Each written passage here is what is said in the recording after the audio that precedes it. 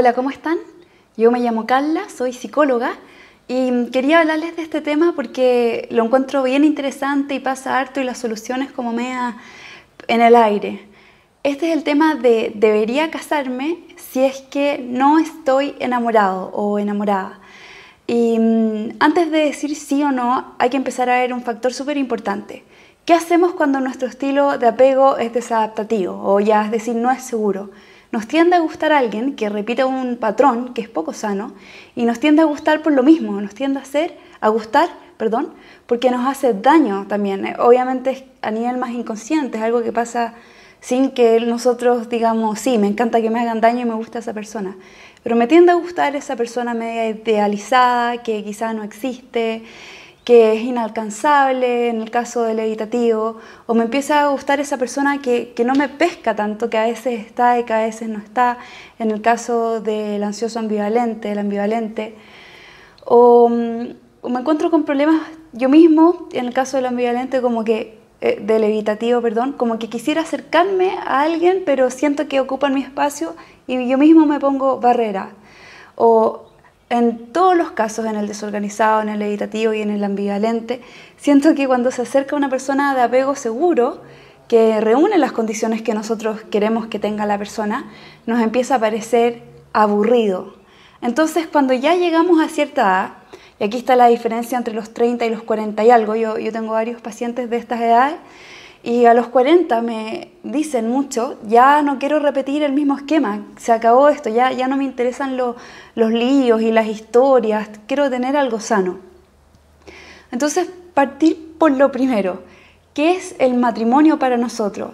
¿Debe una persona que siempre se fija en alguien que le hace daño casarse porque es una buena persona?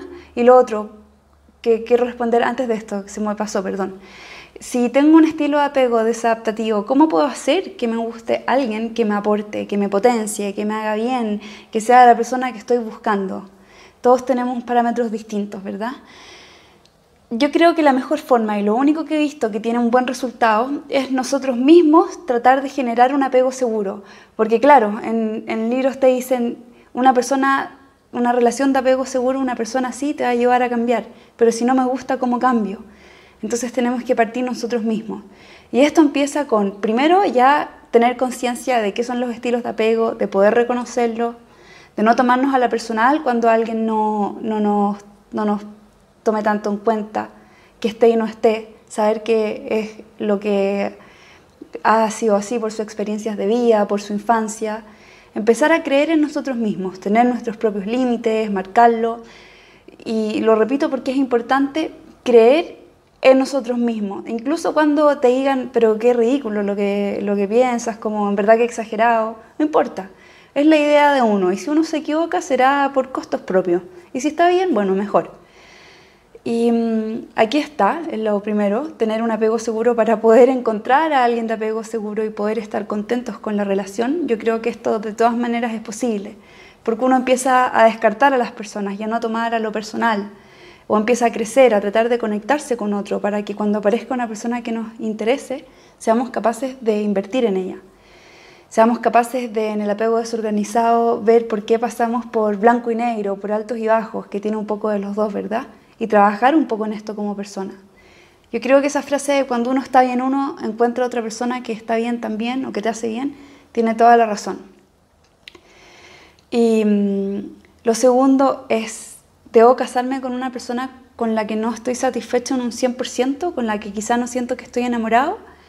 Y aquí está a ver primero por qué me quiero casar. ¿Me quiero casar para tener una casa? Porque es más fácil comprar un departamento entre dos, estoy diciendo algunos casos reales.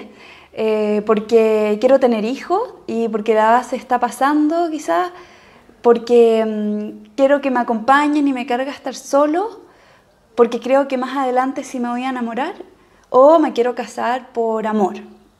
Y si me quiero casar por amor, ¿qué es el amor para uno? Es tener mariposas en la guata, sentir esas mariposas que les digo al tiro que después de uno o dos años desaparecen, aunque sea la persona más increíble, físicamente atractiva, no sé si les ha pasado que después llega a ser una persona normal y de repente ahí mismo la atracción física baja. Entonces la parte de compañerismo también yo encuentro que es igualmente importante porque es la persona con la que uno va a hacer panoramas, con, con, la que uno va a conversar cuando tenga problemas, con la que uno espera que te apoye, ¿verdad? Y uno al mismo tiempo estar para la otra persona. Entonces, ¿por qué me quiero casar? Eso es lo primero, preguntarse uno mismo. ¿Y qué es el estar enamorado para nosotros mismos? Yo creo que lo mejor es hacer esto de bajar un poco la parte emocional y racionalizar también que haya una mezcla entre las dos de quién es la persona que tengo al frente mío. Y mm, si me voy a casar, porque mi idea es casarme por amor, por estar enamorado, tener en cuenta que hay dos opciones si me caso no estando enamorado. Una, que con el tiempo, como pasaba antiguamente, esta persona me empieza a gustar más, bueno, no siempre se da lo mismo, no siempre se da esto, pero esta persona me empieza a gustar más porque está ahí para mí, porque me apoya, porque responde de buena forma, porque es una persona generosa, porque, porque me da todo lo que me puede dar. Me acuerdo que tenía el caso de una paciente que me decía que estaba saliendo con un hombre mayor, ella era, tenía una situación normal y todo, él parece que tenía una muy buena situación económica y la invitaba a todas partes y ella me decía, de verdad que me acostumbré a un estilo de vida, pero al mismo tiempo él me gusta más porque es tan generoso conmigo. Y mm, al final siguieron juntos y ella con el tiempo le empezó a traer un poco más porque físicamente no le gustaba mucho al principio. Pero, mm, pero tener en cuenta que puede que esto pase y, y, no nos casemos para probarlo, no tenemos por qué casarnos, yo creo. Podemos seguir con la persona dos meses, probar un año a ver si esto pasa.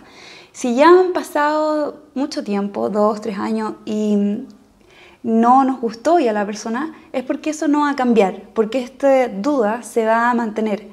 Y quizá tengamos en nuestra mente que queremos o tenemos la idea de conocer a alguien mejor. Y qué egoísta casarse con alguien, si es que es por amor, sin contarle que no estamos enamorados, o quizá habiéndole contado y que lo acepte, pero no queriendo a alguien de la forma que él o ella se merecen ser queridos. Entonces, si creemos que vamos a encontrar a alguien mejor, porque si nos vamos a casar por amor y no lo estamos haciendo, ya está la idea que no vamos a encontrar a esta persona. Ya está esa idea y con eso se cierran las posibilidades de conocer a alguien. Yo creo que si tenemos dudas, siempre es importante sacárselas, hacer algo para sacarse esas dudas y casarse con seguridad. O si no, mejor no casarse, porque después ustedes dirán, bueno, me divorcio, sí. Hoy en día la tasa de divorcio es altísima, 40, 45 años, 50, qué sé yo, ya, ya está más de la mitad divorciado. Tampoco es tan fácil divorciarse. Yo, yo no me he divorciado, lo he visto en pacientes, lo he visto en personas que no se quieren volver a casar por el drama que fue el divorcio. Entonces ahí nos queda pensar bien, ¿qué queremos? ¿Tener una vida sana, estar contentos, quizá, quizá no casarnos y volver a ese, eso de buscar citas, de o de salir con alguien sea como incómodo, preferimos estar con alguien, pero va a ser mejor que estar encerrado buscando a alguien mejor en una situación para el resto de nuestra vida que no nos gusta. Así que esa es mi recomendación. Y como decía esta película, Comer, Rezar y Amar, que a hartas personas les gustan, eh, no, cuando él le ofrecía a ella, bueno, sigamos juntos pero pasándolo mal. Y ella decía, bueno, gracias por la oferta, pero no lo dijo así, pero en el fondo prefiero que estemos separados buscando algo que nos calza cada uno. Bueno, eso ya requiere un poco más de madurez porque uno a los 18 no hace ese mismo comentario que lo hizo ella cuando ya tenía entre 32 y 35, ya se me olvidó un poco la... Así que yo les recomiendo pensar bien esto, eh, volver al apego seguro, que saben que siempre tienen posibilidades, a pesar que la situación esté difícil, saber que hay una opción para nosotros, saber que hay una opción para el otro también, no ser egoísta, y así espero que, que al final de nuestras vidas no nos arrepintamos o por cosas que hicimos sin, sin tener conciencia de lo que estábamos haciendo. Es importante tener claro qué es lo que uno está haciendo y si toma una decisión, sea una decisión consciente, no una decisión ciega donde uno niega lo que está pasando. Eso es, aquí está mi página, cualquier cosa, si quieren tomar una hora conmigo, me pueden escribir o mandar un WhatsApp para tomar una hora presencial o online. Y por favor hagan like y sigan el video si les hizo sentido. Si tienen alguna experiencia que compartirla, pueden comentar. Muchas gracias. y que tengan un lindo día y una linda semana. Un besito. Chao, chao. Gracias.